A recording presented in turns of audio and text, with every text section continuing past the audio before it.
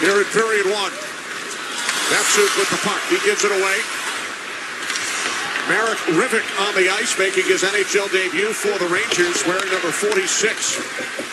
Recalled from the Hartford Wolfpack of the American Hockey League earlier today to replace Daniel Paille, who was sent down to Hartford. Puck off the stick of Tanner Glass, carried ahead by Keith Yandle. And out is Smith for the Red Wings.